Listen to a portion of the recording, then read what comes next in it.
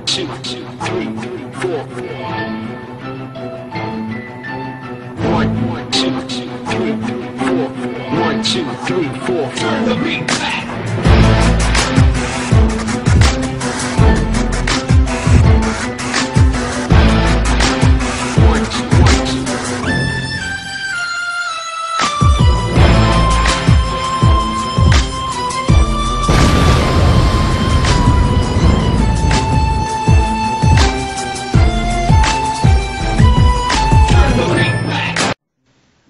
What's going on YouTube? Uh, Ziploc Gory back here again, and I am here with my uh, brothers at arms.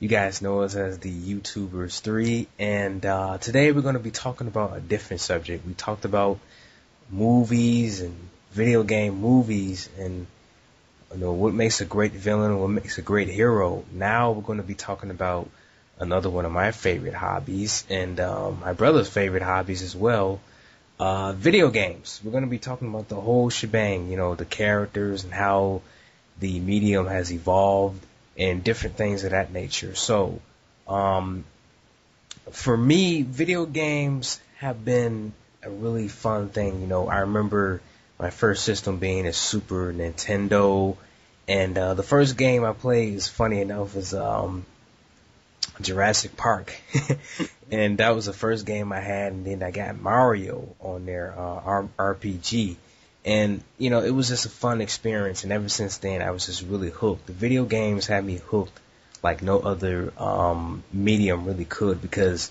unlike movies and comics and TV shows, video games are interactive and they can keep you hooked for hours and and things that nature. So, um, whoever would like to step in and talk about, you know, your first experience with, you know, video games, they can go in.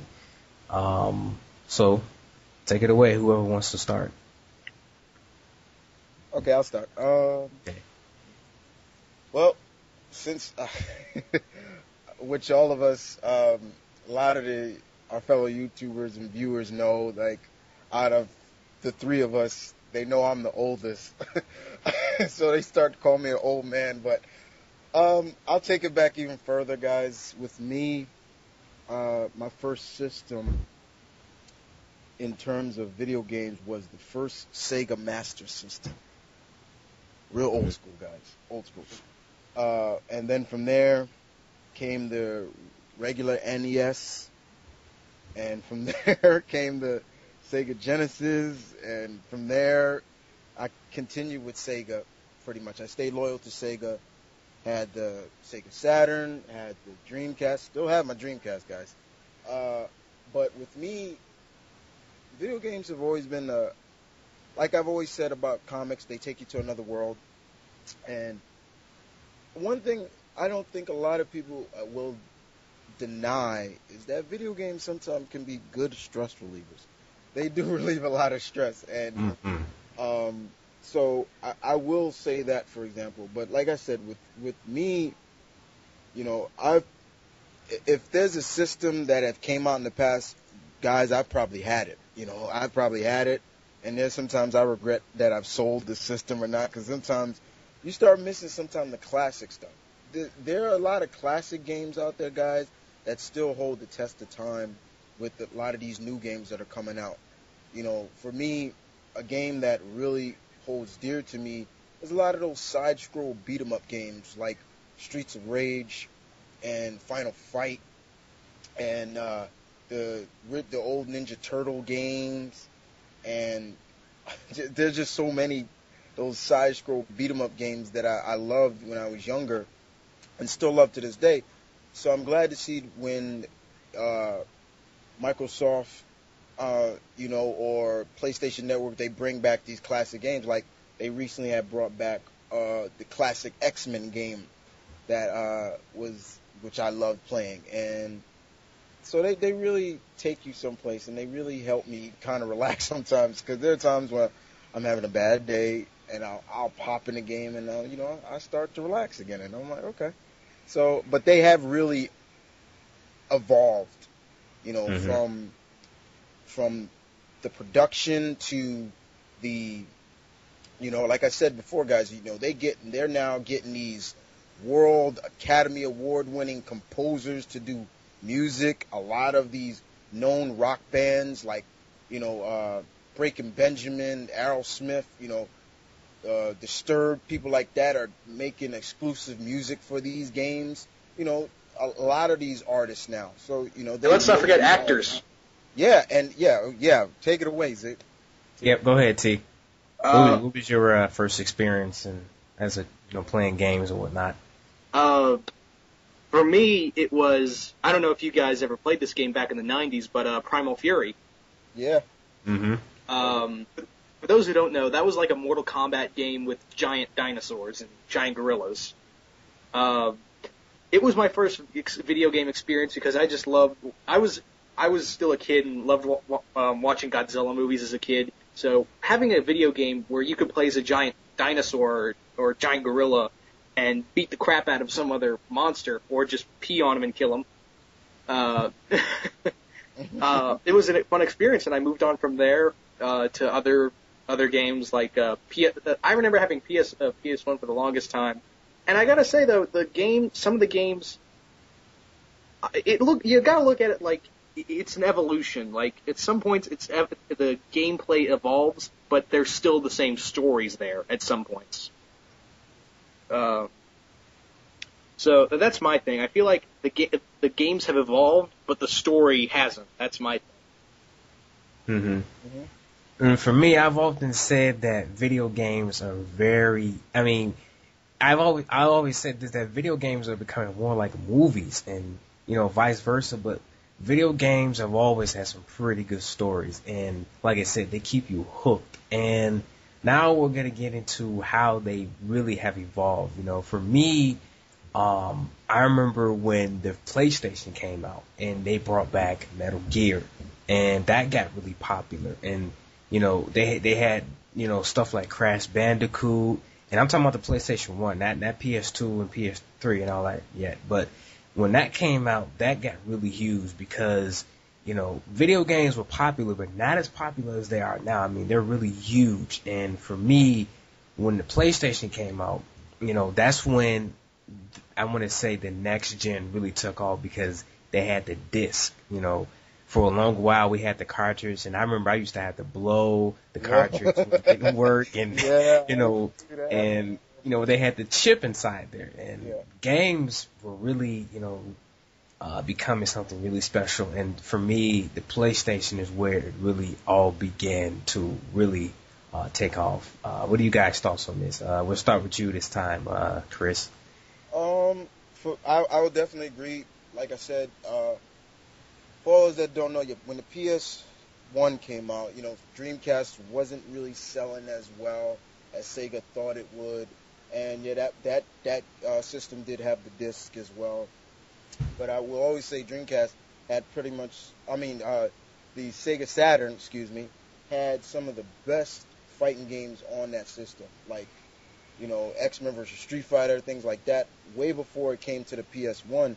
But yeah, when the PS1 came out, you know, we were getting games like you said, Metal Gear came back, and that came back hard to the point where that story was like unbelievable. It was just like the character development through every character in there, not just Solid Snake, but Meryl and Revolver Ocelot and Psycho Mantis and Sniper Sniper Wolf, you know, all those great characters, Vulcan Raven, you know, but then of course I think a lot of people to all my RPG fans out there jumped on with Final Fantasy VII. That put everybody back into the Final Fantasy world.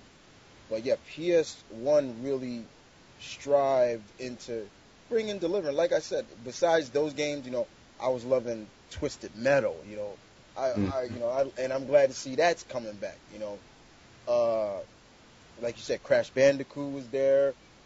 That's where Tomb Raider got big. You know, off of Yep. that. You know, uh, there were just so many good games on the PS1 that you, you look at and you're like, it takes you back. It really does take you back. You, you can even put uh, Soul Reaver and Le- Legacy of Kain up in there. Oh yeah, that was those, good. those were good games back then, you know. And you know, hopefully, and if Nicholas Stings, I know you're watching, bro. I'm I'm hoping you're watching.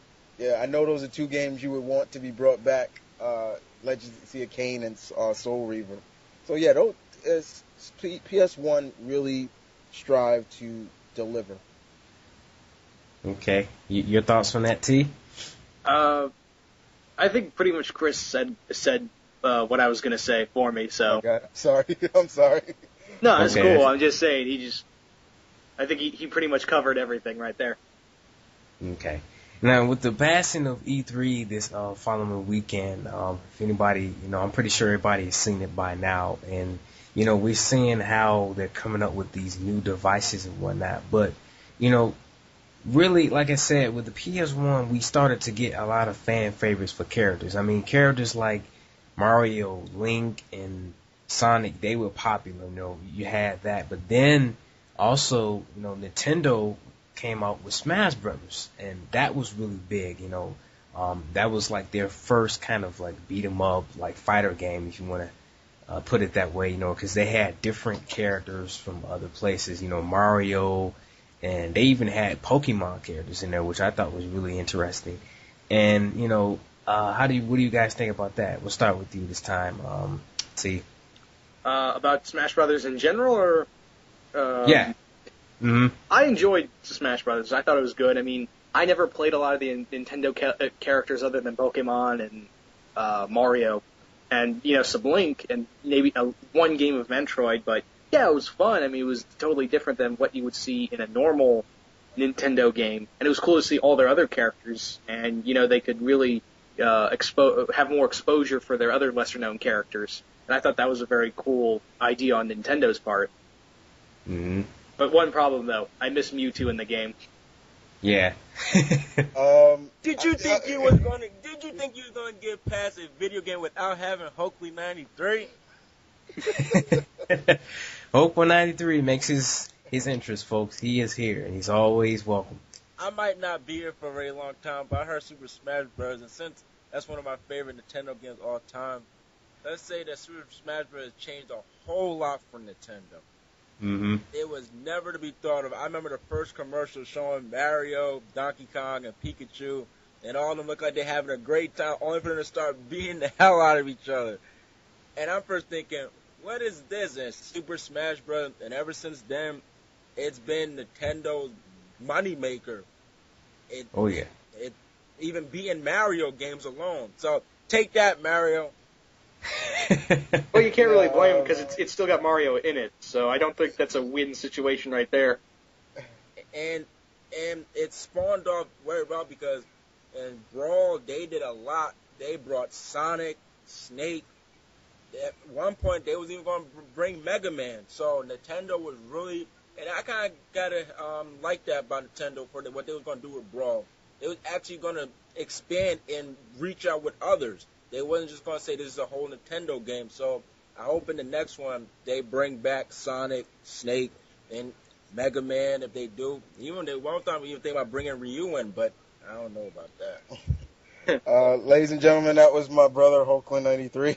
and and uh, now we're really getting into uh, characters. We're really getting to, you know, pop characters that started to get really really popular. And with video games, I have to say, out of all the stuff I'm into, video games, you know, video game fans are really really passionate about the characters. I mean. You know, starting with stuff like Street Fighter and Mortal Kombat. I, I mean, that was a big rivalry back in the day. You know, which what, what's better, Street Fighter or Mortal Kombat? It was pretty much building up to the point where you know we were getting um, forums and things like that because you know growing up we I didn't have a computer and when they started doing you know video game forums and stuff like that for different games and companies, I started to really really get passionate about characters I liked and. Um, what are some characters you guys really, really started to like uh, as you know video games started to evolve? Um, Start with T on this one. okay, go ahead, T. Uh, Sonic, no, no question on that. I like Sonic more than Mario. My, uh, uh, who else is there? Uh, at, at for a short time, Master Chief. Well, actually, not Master Chief, the Arbiter from Halo. Mm-hmm. uh, I've kind of fallen out with Halo, and I get, I, um, well, I guess we'll get the Halo Four in a in a while. but Yeah. uh, who else was there? Uh, Star Fox. Uh, Fox McCloud. uh, who else is there? There was. I um, feel like I'm missing somebody. Oh yeah, of course. Uh, uh, a majority of the Mortal Kombat characters, the, and even like as as far as it goes, even when Pokemon came out, Mewtwo, I, that's still my favorite Pokemon, even though I don't like the series anymore. What about you, Chris? Uh, with me, Jesus. uh, well, I'll definitely agree. Of course, everybody should know Link is up there. So, you know, Link was always somebody I cared about, and just seeing him evolve. Uh, of course, many of the Street Fighter characters, Mortal Kombat characters, of course, Scorpion and Sub Zero, like the two guys I really attached to the most. Uh, Sonic, yeah, I, I love Sonic. I, I still do this day. I still think they need to do justice to Sonic. Um, uh, Strider Hiryu, uh, Capcom's Resident Ninja, uh, was always cool to me. I'm I'm I'm praying that Capcom makes another Strider game. Uh, uh, Ryu Hayabusa, you know, uh, uh, just there's so many characters. I uh, Snake and people like that.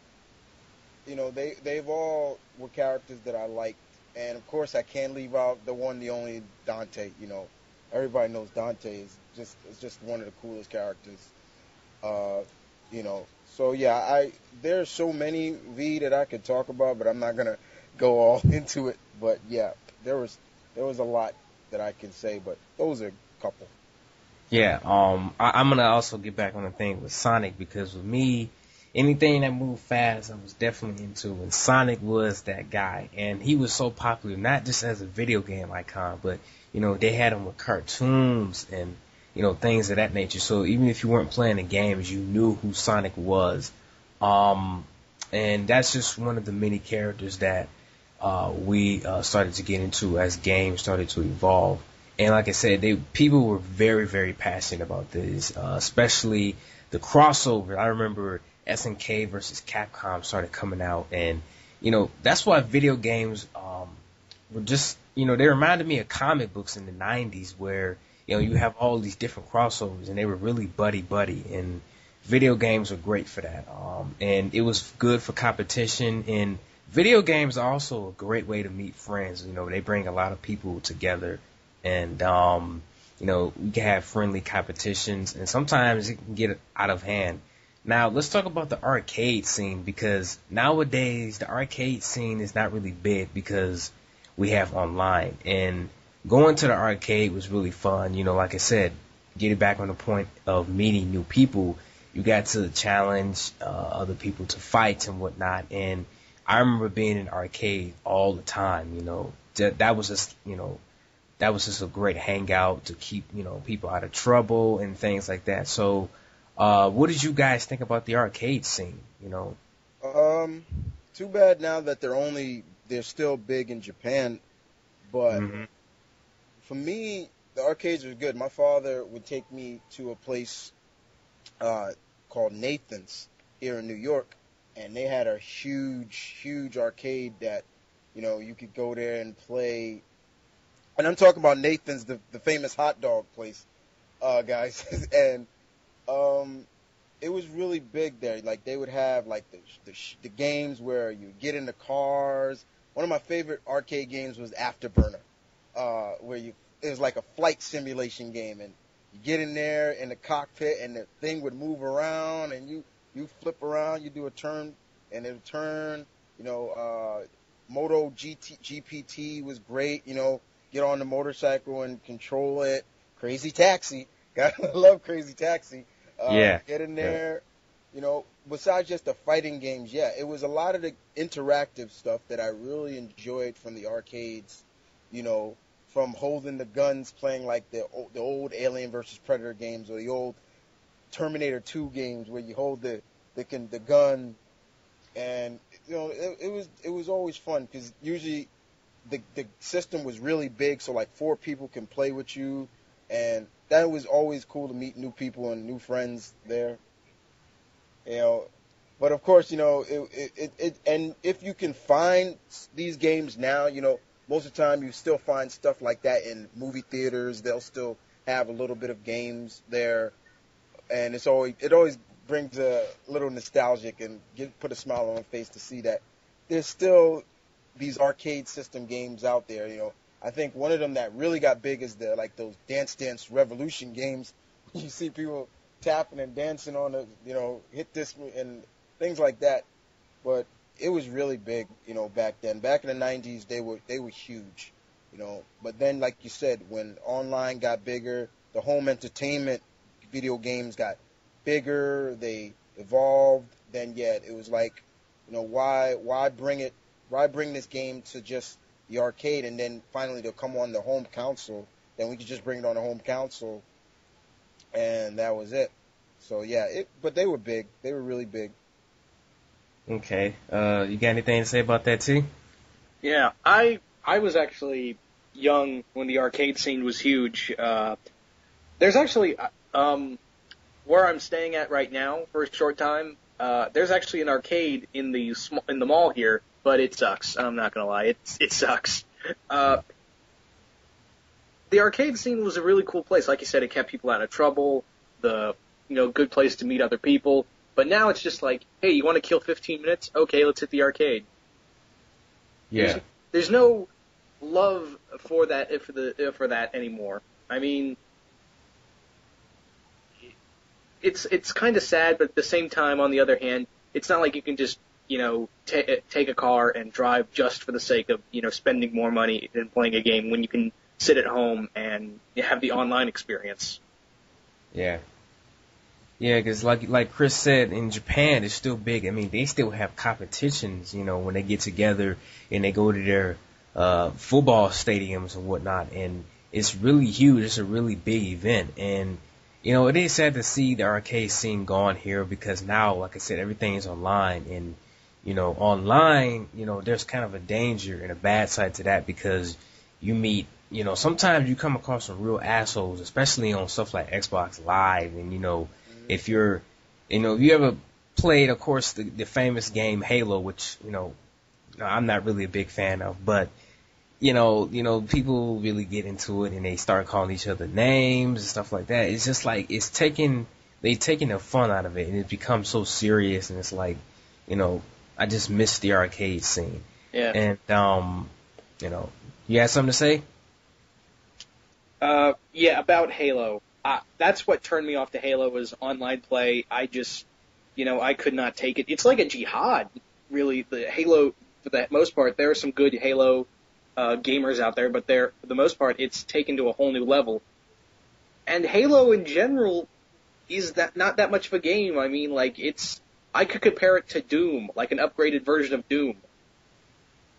And you know the it, it, it's not that big. I mean, why? I understand that, that it had a great story, and you know it had interesting weaponry, but Halo in general, I, I used to be a Halo fan, and now it's become a it's it's become a franchise that I do not want to be a part of. However, I'll still I still love the mythos and you know read the comics and whatnot. Mm-hmm. And speaking of comic books, I remember when the first Spider-Man game came out for the PS1, and I was hooked on that. I mean, you know, we all here are fans of comic books, and seeing heroes come to the video game system was also fun. You know, you got to play as Spider-Man and Batman and all of them. And now, granted, the Batman games weren't as good as the Spider-Man games back then because, you know, they really sucked. But the Spider-Man games and the Marvel games, they were really, really fun to play. And like I said, it was good to see your characters not only in your favorite characters, not only in cartoons and things like that. You got to see them, you got to actually play as them. And the way they did it was really fun because you know, you had the web shooters and things like that. You can do different attacks. And um, what are your thoughts on that, um, my Vernon kid? Uh, well, I, I figure you come to me first on Spidey. um, for me, the first Spider-Man game I ever played was an arcade game, actually. Um, that was a four-player game, and it was a side-scroll beat 'em up game where you play with You either play with Spider-Man, Black Cat, Namor, or Hawkeye, and that was a fun game. Then for the Genesis, they had a Spider-Man game, or they would call it Spider-Man versus the Kingpin.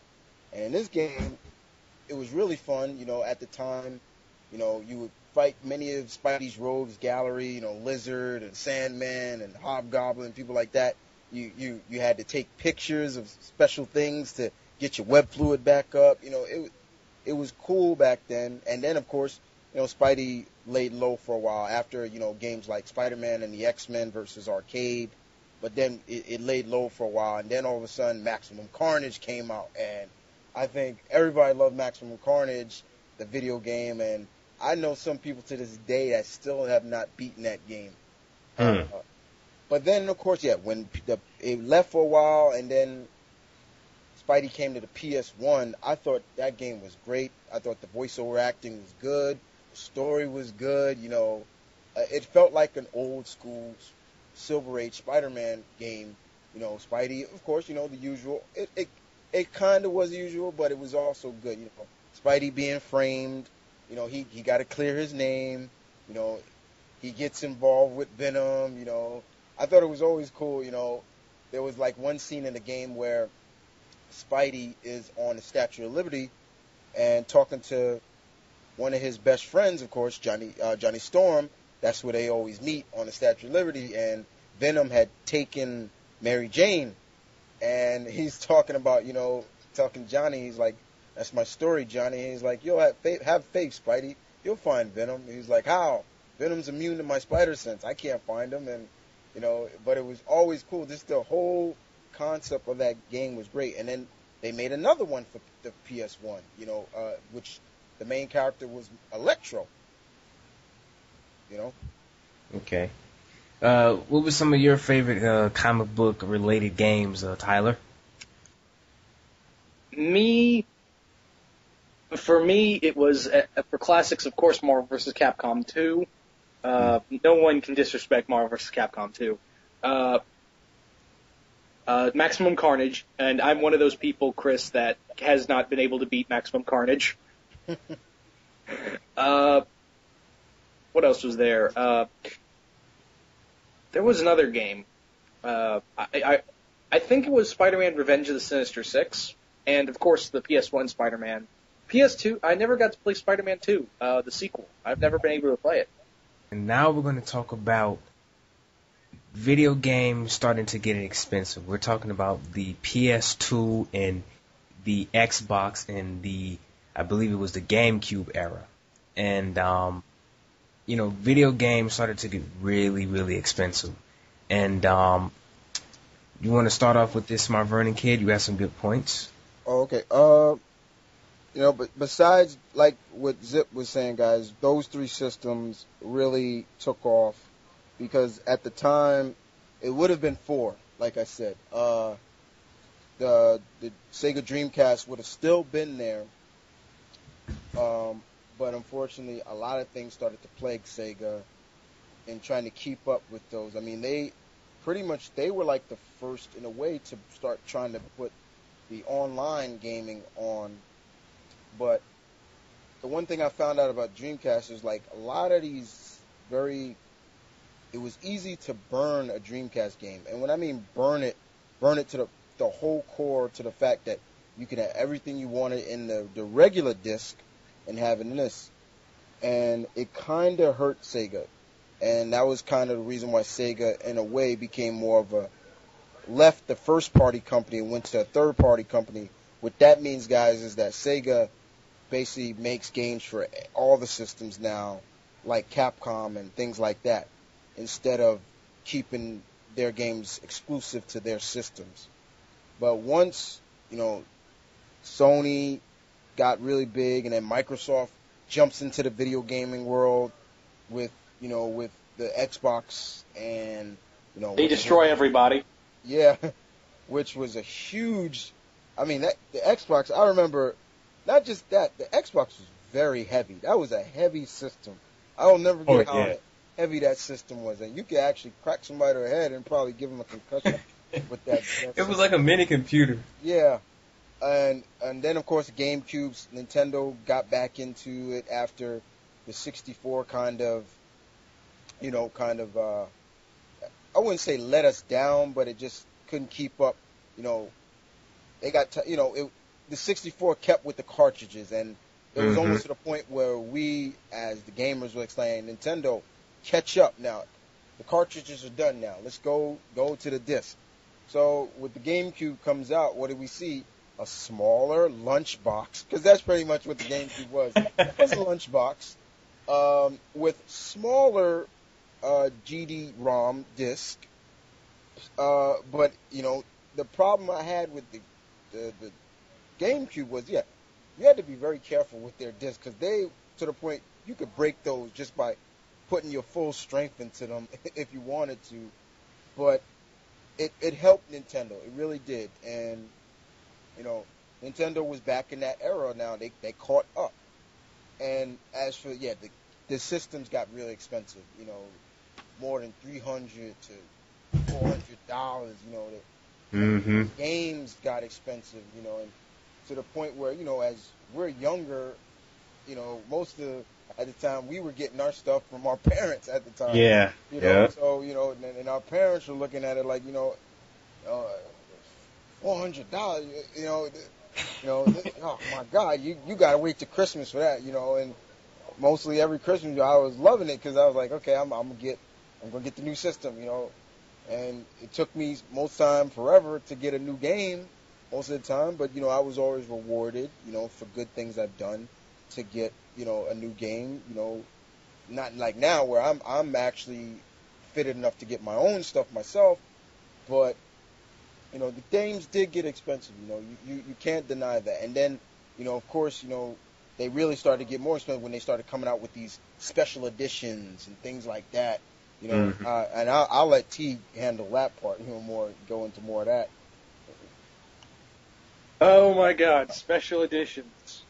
If there was anything more insipid or either a gold mine, it would be special edition games. Because usually, whenever I bought a special edition game, it was either like, ooh, extra content on, you know, how they made the game, or ooh, uh, this had added features. But now with new speech, special features like for Xbox 360 and, you know, PS3, we now have downloadable content, which is a hell of a lot better than what we had back with, uh, uh, the Xbox and PS2 special editions. Hmm Yeah. And it was also it also came to the point, guys, where these special editions, not just the downloadable content, it was like like you know, I think we we all people you've heard us say we're not big fans of Halo, and I know there's going to be some Halo marks out there. Oh, the YouTubers three hate Halo. Um, we have our reasons, guys. Okay, but Halo was a big mark because look, there was a special edition that actually came with one of the, I think Master Chief's helmet. It was like man, like the legendary edition. It was like like six hundred dollars. I'm like Jesus Christ, like I was like, you really gonna spend that much on just a game where, you know, an edition like that? So yeah, it really got really ridiculous at some point. Now I'm not gonna lie, guys, because I do have, I did buy the special edition of Mortal Kombat game. So you know, but it came with something cool because I it, it had a bookshelf that uh, has Scorpion and Sub Zero on it. So you know, it, it's kind of cool, but you know, these special editions kind of like plague you sometimes. You know, sometimes you don't. It's like, why do we really need them at some point? But then there's some reason why. You know, you want to see how the game, like T said, like how the game was made. You know, see the voice, the actors, and do the voiceover work and things like that. Yeah, but in the beginning, yeah, like it, it was to the point like we said about Xbox and PS2. yet. these special editions was just like okay, why didn't you just put this content in the game first place instead of coming out with a special edition? You know, that's just the way it is. Yeah, for me, that era, for me, you know, I, I didn't get an Xbox because I had already had the PS2 and GameCube. Um, I had played a lot over my friend's house because he was a really big uh, Nintendo nut, and um, you know, I just went over his house and played it. But for me, this is just my opinion. I think the PS2 was just the you know the king during that era because they had so many great exclusives. You know, you know, Xbox when it came out, Microsoft really didn't know what they were doing. You know, they they had you you can probably say better graphics and a bigger machine, yeah, but they really didn't know what they were doing when they first came out. Yeah, You know, Halo was really their only saving grace, and then you know Nintendo was doing pretty good as well. But like I said, the PS2 had a lot of variety games. Until this day, I will play those games. I mean, they had stuff like um, as you know, a lot of games from over the seas, you know, from Japan. They had they were producing so many games like Final Fantasy and things of that nature.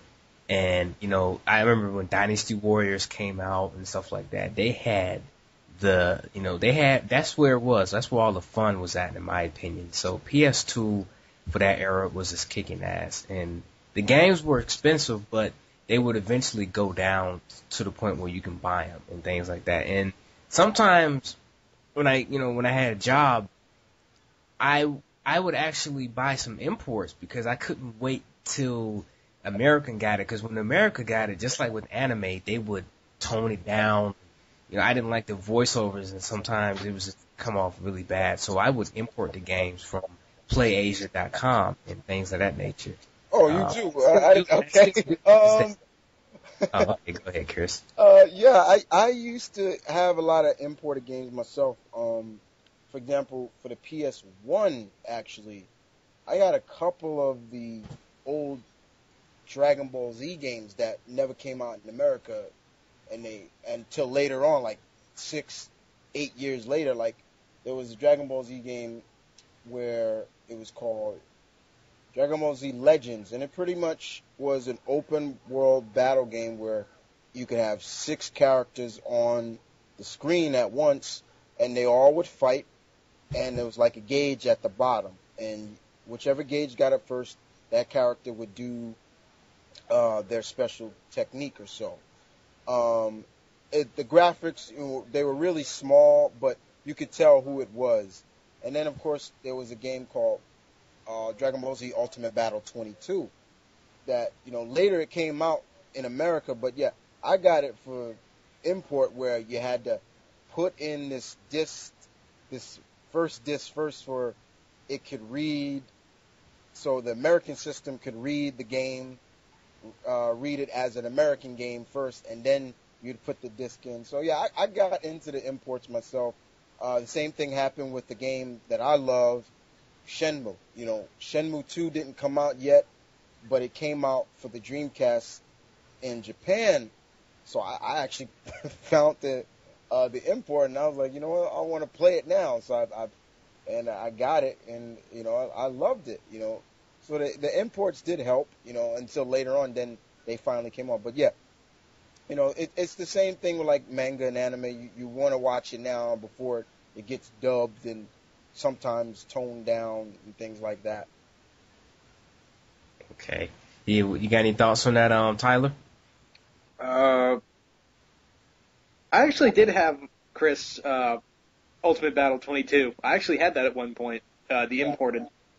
But I think we're forgetting one game on the PS2 that really, you know, changed up for Japanese, for um, you know, um, I wouldn't say Japanese, but for the PS2 that it became, you know, a, a a gaming, a game that you know would people think, oh, PS2 Kingdom Hearts. For me, Oh, yeah. I was, I'm Oh, a big fan of Kingdom Hearts, both both ones, and I- and I'm wondering, uh, when's Kingdom Hearts? It's been like what, six years, six, seven, eight years since Kingdom Hearts 2? Yeah. Mm, it has. And also, I, I can't. I, I know somebody's probably saying this. How come they're not talking about this? PS2 wise, I think one another game that really pushed, just showed how truly powerful the PS2 was. God of War. Oh yeah. Those games. those really showed off how powerful the the PS2 was system wise. Metal Gears, the next couple of Metal Gears that came out for the PS2, uh, Part Two, Part Three, you know, they really pushed the the the PlayStation 2 to its limit, and it really showed you how powerful this system was. Even though you know you you can kind of say the Xbox was a little bit more, you know, graphic wise, it was more powerful, but still, there were a lot of games that pushed the PS2 to the limit and showed you that it's it's it's a powerful system as well. and of Yeah. course, you know, it later got uh, because the PS2 was big too. That was a pretty big system, and then later on, it got flatter and smaller. Because actually, for me, guys, my my PS2, the old one I had, actually, it, it burnt out on me, so I had to get Same the, here. the the flatter one. You know, Mm-hmm. you know Yeah, flat- slim. Yeah, slim version. Yep. slim version. So, you know, eh, to me, I, I eh, to the point where I'm not saying I'm clumsy, guys, but to me, it's like, you know, I'm scared that I'm I'm gonna break this system because it's so slim and small, you know. But, you know, the the the bigger system, like I said, it burnt out on me, guys. It, I, I just couldn't take it anymore. Uh, I played that system to the end, and you know, uh, it was fun. You know, I actually sold it to GameStop, and they took it, and they was like, "We'll try to fix it." I'm like, and they they gave me a the Slim. I'm like, okay, thanks, you know, but you know, it was it was a great time to have a PS2. Um, it Yeah. still is. It still is. If you have a PS2, even though there are the Xbox, the PS3 is PS2 and PS1 compatible. I think it's the larger system, larger uh, one that's more compatible. Yeah, it's but it's nothing like still having the system to play that game on, in my opinion. You know, that's just me.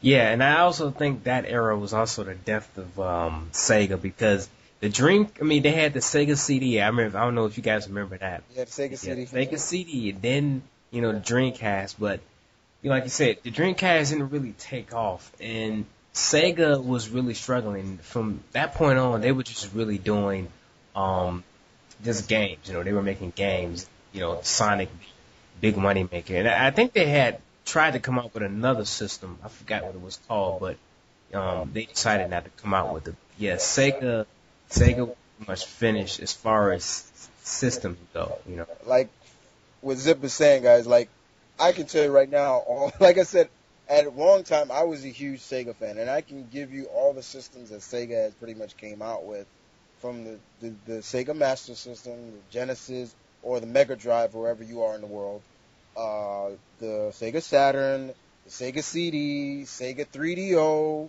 uh, the Nomad, the Game Gear, that was their held, handheld system.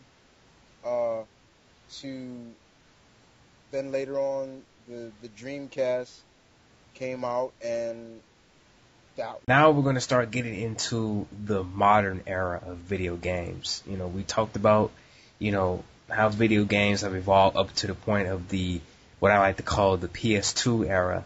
And now we're going to get into, like I said, the modern age. And with the modern age of gaming, again, you know, when they first came out with the PS3 and the uh, Xbox 360 and Nintendo Wii, the gaming systems are really expensive. I remember, I think the PS3 was like what 900, if I'm not mistaken. something around there. It was oh lower, maybe about five, four ninety nine, six ninety nine. Yeah. One of them I know is, and it also depended on now to the point where we get their different. uh You know, they each came with a bigger hard drive. You know, bigger. You know, you had your twenty gig or your your your eighty gig. You know, something like that now. You know, so yeah, they they got more expensive in terms of that. Yeah, and also, you know, you know, with the last era, you could also start playing movies on your systems, and that's where the system started to become more like computers, in my opinion. You know, they for a while there they were starting to forget about the gaming because now, you know, we got Blu-ray and all that stuff, and you know, you can watch your movies on your PS3 or what what have you.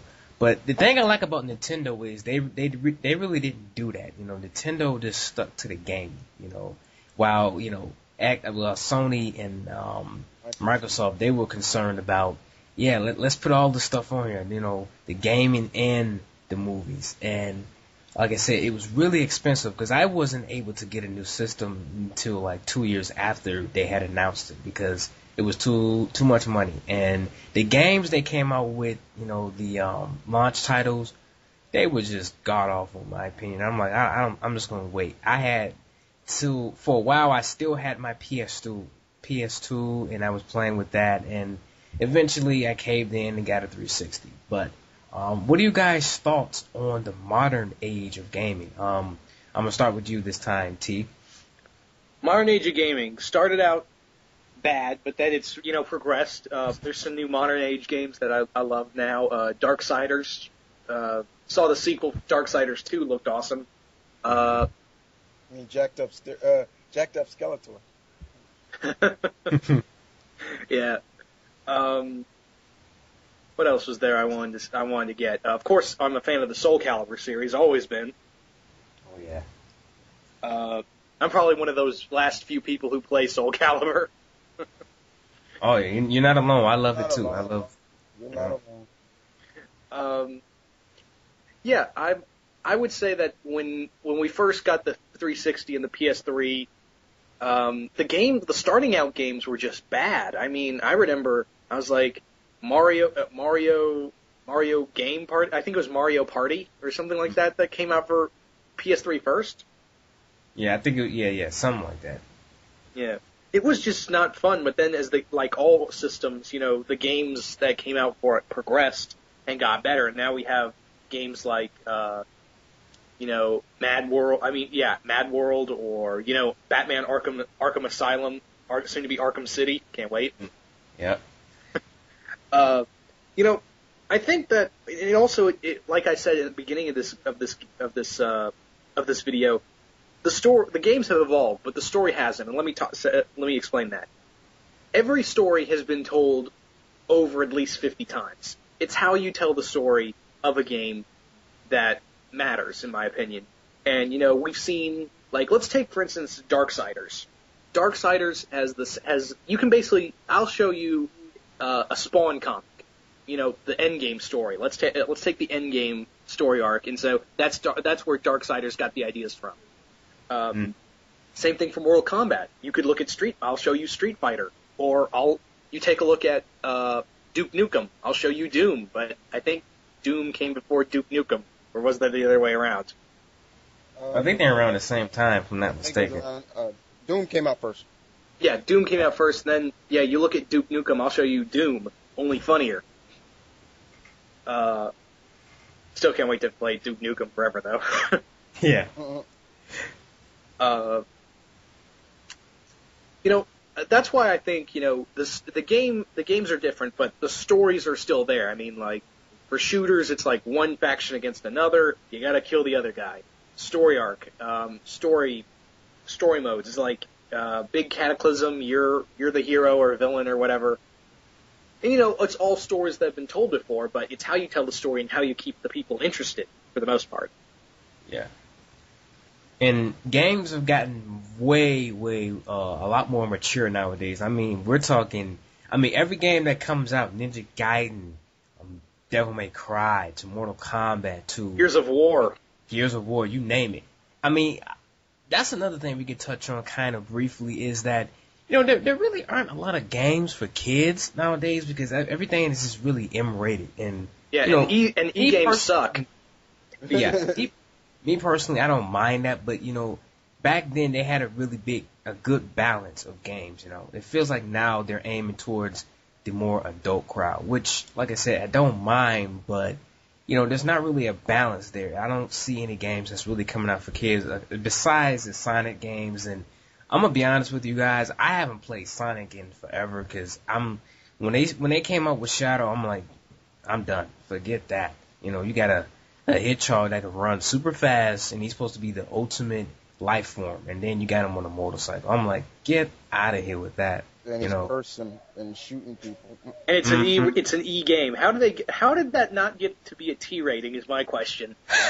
Uh, Yeah. the- it- back in the days, it was the the rating system really kind of helped because you had the KA that was for kids and T like teenager and 13 up, and then of course you had your M, MA. At first it was called MA. You know that was the more mature games. But yeah, like like you said, you know the the games now. If you want the real good stuff, yeah, it's the M-rated games that yeah. and you know, uh, but besides that, it's always these games that you know you, you find are you know movie based games like Cars and Incredibles and Yeah, yeah. games like that mainly for kids. And there's but- no effort to them, and there's no effort to Yeah. those games. That's the problem because they're not taken seriously. especially with the comic book related movie games. I mean, let's face it. I mean, yeah, I, I appreciate the effort of doing that, but it, it doesn't work out. You know, it's best to just do a game on its own, and that's where you know Spider-Man, you know, games like Shattered Dimensions and Batman: Arkham Asylum and Arkham City really work because they're not based on the movies. They're just doing their own story. That's You why know, those. I, I I have to kind of contradict a little bit on that one, and I don't mean to, but you know, I will agree. Yeah, the comic, movie-based comic book g- games kind of do suck. I'm not gonna lie, but I, I gotta admit, Spider-Man 2, the video game was pretty decent. I really enjoyed. Yeah, enjoyed. no that one can deny. Yeah, that that that was a pretty good. That's the yeah. only exception.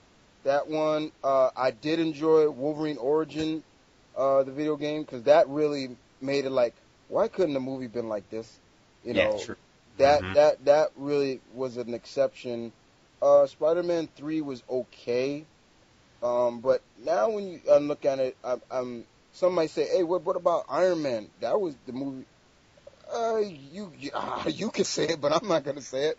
Uh, the Yeah. Incredible Hulk uh, movie um, game that came out was pretty much uh, Ultimate Destruction all over again. So I, I didn't mind that. Um, if you haven't played Incredible Hulk Ultimate Destruction, play it. It's Where really have you been? Yeah, where Yeah. have you been? It's a good game.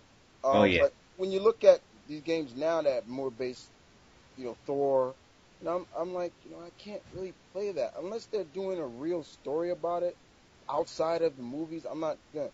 I looked at this Captain America game and I'm like, yeah, the movement looks great, but it looks like an old school game that I'm looking at. I'm like, the graphics suck. I, I can't, Yeah. I'm not looking at that. Oh, But- and I pl- managed to play the Thor movie game. Okay. That was an abomination. Hmm. I'm not gonna lie. The the game control sucked. The the voice acting was off. The lip syncing was off at least. The game controls were crap. The the boss fights were kind of useless. It was like a T-rated God of War, basically. I mean, so like you said, you know, when when it came when it's when it's about a, a video game character, but they're not taking it from the, from movies. You know, we talked about Spider-Man and Batman, uh, uh, Marvel Ultimate Alliance. You know, games like that. This, Yeah. this new Yeah. game that's coming out uh, for the X-Men, you know, called X-Men Destiny, has nothing to do with the movies. It's just an, a, a, a game that's being uh, developed. You know, of course, the uh, X-Men Le- Legends games were good. You know, you know. Uh, let's see what else I could throw. They had a Justice League game out that wasn't based on the, the cartoon and everything. Um, it, it had like a feel of Ultimate Alliance game.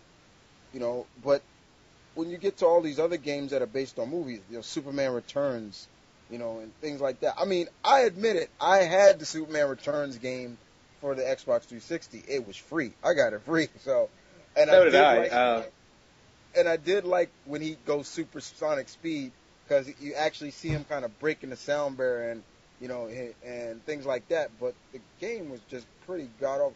I hate when they take these comic book movie based games and they try to add villains that are not in the movie. You know, Because like, it makes you want to have these guys in the movie. Yeah. it's like why didn't you put them in the movie? you know, Damn like it. for example, the Superman Returns games. You fought, you fought, uh, you fought Mongul, and I'm like, you fought okay, Bizarro. uh, it's like okay, so why why was he in the movie? In this Captain America game, I I, I think I saw Crossbones in there. I'm like, okay, so how is Crossbones in it if this is supposed to be a World War II era game, and things like that? I uh, you know I saw Baron von Strucker in there, and like I said, the movement of the game looks pretty cool. You know, from the the fighting techniques and things like that that Cap can do. You know, he can actually grab people and use and throw his shield at them. And I'm like, yeah, that's good. But I'm looking at the graph. I'm like, man, this this PS1 graphics or what? It it just looks it looks ugly, you know. But like I said, uh, Spider-Man 2, yes, is an exception. Uh, Spider-Man 1 was abomination because you couldn't go down below. If you fell, you know, you're dead. You had to stay above above the, the skyscrapers. I'm like, what? Well, you could argue you could argue that Spi- the original 1990 Spider-Man PS1 game did the same thing. True, true. You're you're right. Mhm. And Yep. but like like I said, Wolverine Origin mo- movie game was good. That was good because it was like okay, you know they were showing blood, they were showing guts. He was he he was actually you know acting more like Wolverine, you know, with the foul mouth and stuff. And you're like, okay, now this is kind of how the movie should have been. You know, I love the the the the like the interactive like quick timing events like Wolverine would jump across something and he like would jump into a chopper and stuff. I thought it was cool and you know, but now when you look at these these games where they're, they're being smarter now about it.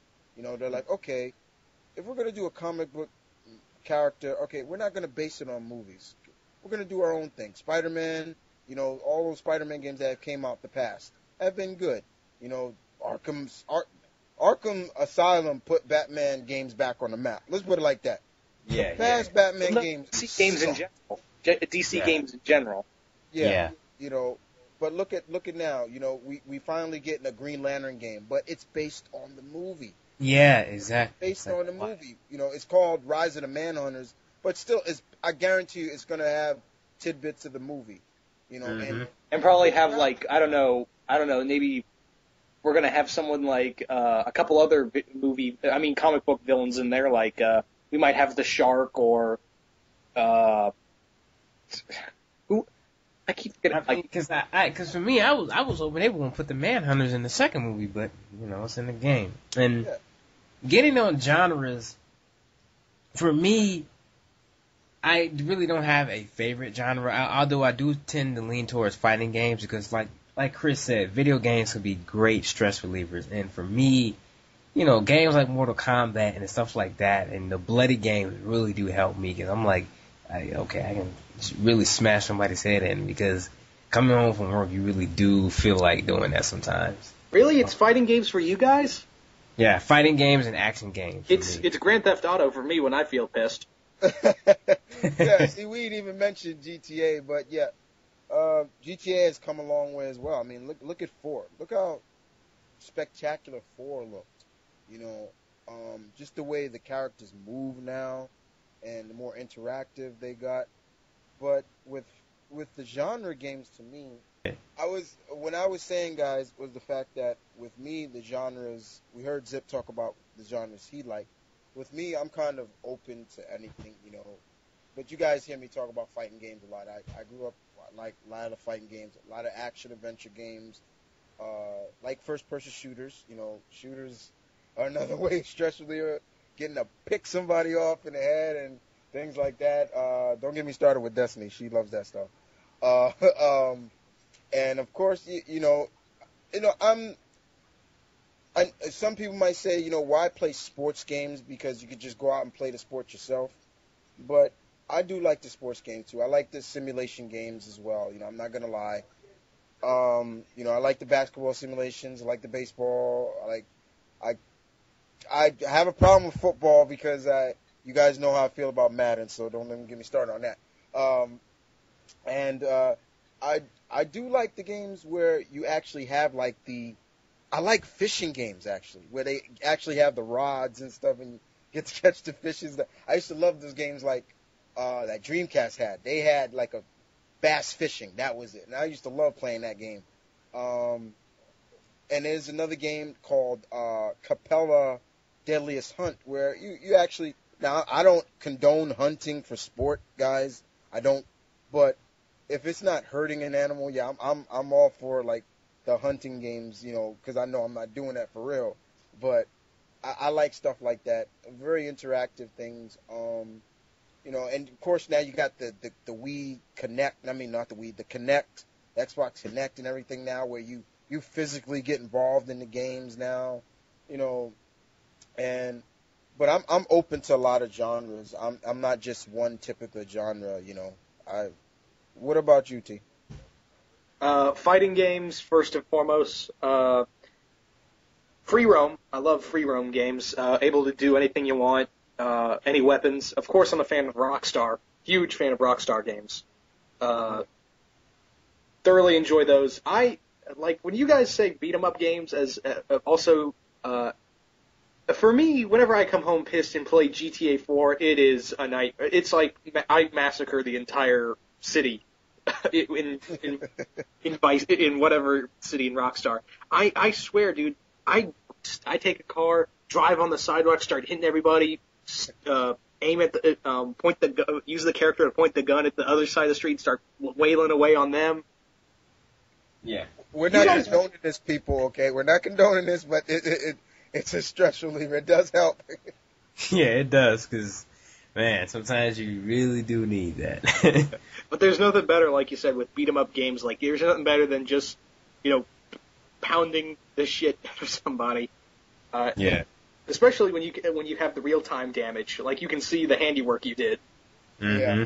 I mean, like for me, guys, in terms of the fighting games, I mean, you know, if if if I'm playing, I do play online the fighting games, and most of the time I will have my mic on so I can, if the other guy has a mic, and one time I actually was in a bad mood, and and, I, and this guy came, he's like, "Now go easy on me, guy. I'm I'm new to this," and I didn't hear anything what he said. I just I I whooped him, and I was, and he's like, "I told you go easy," and you know I was sorry. I, I'm in, I'm in a bad I'm in a bad mood right now, but you know things like that. So you know you you, you gotta sometimes know where to draw the boundary because there was one time I actually played a, a little kid on online and when it, uh, Marvel vs. Capcom 3 and you know and I didn't know he was a little kid. I didn't know he was like 13, 12 years old and I made the boy cry and I'm like, oh my god, I, I made this kid cry uh, and I could hear him crying and I'm like, and so I, I wrote I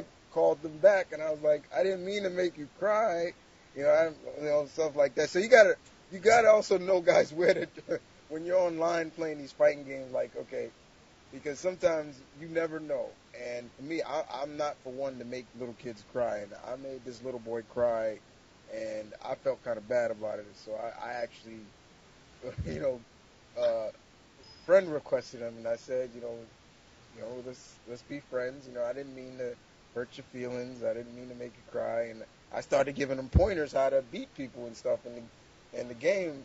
You know, and but I was telling him stop picking. Like for me, you know, he kept picking people like the Sentinel, and I'm like, I hate people who pick the damn Sentinel because I know what they're gonna do. Anybody who picks the Sentinel, I know what you're gonna do, and I will hurt you if you play with the Sentinel. And I, and all the Sentinel does is bring out the little Sentinels and things like that. And I told him, don't do that, and I and he did it. And so I told him like, if you're gonna use other characters, I try to give him pointers how to use other characters. But with me, online guys, I'm I'm really friendly. I'm I'm not that crazy guy like. But if I'm in a bad mood, yeah, watch out. Uh, that's when the other side of me comes out. Uh, you guys know his name. He comes out on when I'm online. Yeah, it's it's good to not take these games so seriously because sometimes you know like, you know it can get out of hand, and I've heard stories of people getting into fights and stuff over video games, and I'm like, whoa, whoa, Uh, you know, it's, it's it gets really crazy. And with that being said, what do you guys see the future of gaming going? And Like I said, with the passing of E3 this following week, you know, they announced the Wii U. And it seems like every, I want to say every five years now, they're coming out with a new system. And for me, I've always said they should just come together. And I know this will never happen because, you know, they're, they're, they're such, they're in such competition with each other. But they should just come together and make one system because I get sick of playing games and I'm like, man, this game has content that I can't play because it's on the other system. You know, like Mortal Kombat. You know, the recent game, it had Kratos, but only for the PS3. And, you know, stuff like that is really nerve wracking. I, I I really get sick of stuff Exclusive. yeah, exclusive, uh, exclusive material. So, what do you guys think about that? You know, the future of gaming and exclusive material. Um, I'll start off with you this time, Tyler. I, I got seriously nothing on burnout.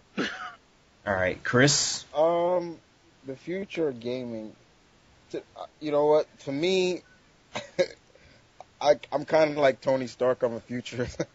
I have a feeling gaming is just gonna get more interactive than ever, to the point where almost to the point you're actually in the game. You know, uh, with the character or you're controlling that character, kind of like reboot or something like that. To the Mhm. point, okay, that's you're in it. If you ever seen the movie Gamer, um, with uh, with Gerard Butler and things like that, that's how I see gamings now. Where not that you're controlling somebody, but your your movements really are Virtual your- reality, basically. yeah, basically more virtual reality to the point, uh, kind of like we saw in Batman Beyond and things like that. How the arcade games got really involved, like you know they were putting on like goggles and things like that. They you can almost feel the damage in some way, a little bit, but, but I I I wouldn't want to feel that kind of that nonsense. But Oh, could Yeah. you imagine Mortal Kombat in that kind of style? yeah, man, I I did not want to feel like somebody ripping my arm off or something like that. But I think it will get to the point where they will get more interactive. But I, I, I don't like the exclusive stuff either. You know, I think that if there's a Metal Gear game, let it come out for all the system. Even though, yeah, it came out for the Sony first. You know, actually came out for Nintendo first. You know, Yeah, yeah, it did. Yep. don't don't don't have it exclusive. But I understand why some of these stuff. I mean, we'll never see a Mario game on you know on Sony or you know or Mario on on Xbox. You know, those exclusive characters. But but when you got these fighting games like Mortal Kombat, don't have exclusive characters like Kratos. I mean, it was good to see him in the game, but it was like if you got an Xbox, if you're an Xbox owner like me, it was like, hey, that's a slap in the face, man. Hey, come on. But then to the point now, it's almost to the point like, why the exclusive? Because odds are one, these guys are gonna come out on the next system anyway. Like, remember Soul Calibur 4? We got Yoda in Yoda in the Xbox version, Darth Vader in the PlayStation 3 version. But later I later still on, feel like I was cheated. and, but then later on, Yeah. they both came out anyway. So it was like, what's the point? So that's my final word on it. Yeah. Um. Yeah. This this video was really fun to make, and um, we're gonna end it here. But as for me, the future of gaming, I really don't know where. And like I said, I gotta agree with Chris. I think games are definitely going to be, you know, getting more like virtual reality, and uh, we could see some stuff like in Batman Beyond, people getting addicted to it because. I've heard stories of people just not even leaving their house right now because Go, go look at the people who play StarCraft in South Korea. It's scary. yeah, it, it- it's you know stuff like that's really really um it's really out there. But uh we're gonna leave this video off, and uh it was fun being with my fellow brothers at arms. Um, you guys can uh, say goodbye, and we're gonna leave it off. All right. One more thing, guys. Uh, if you're a Halo fan, like a Halo fan, we mean no disrespect to you. So, but that's just my final word. Yeah, we're we're. I mean, I always respect people's opinions. You know, I I actually like the Halo storyline, the comics that Marvel came out with. You know, I just the games. I just think they don't do it for me. You know, that's my final words. Final Anything words else? For me, guys, is just uh, hope you guys enjoyed uh, once again having the YouTubers three together again. Uh, I know a lot of you have been waiting for this. I read the comments, people. I read my friends' comments on their channels, and I seen a lot of people is looking forward to this. Uh, we we can't promise we'll do this a lot or often, but I I give you my word we'll try to do it as much as we can. That's Mhm. all I can say about that. Okay. With that being said, bloody days, gory nights. We are out. Peace. Later, guys. Later.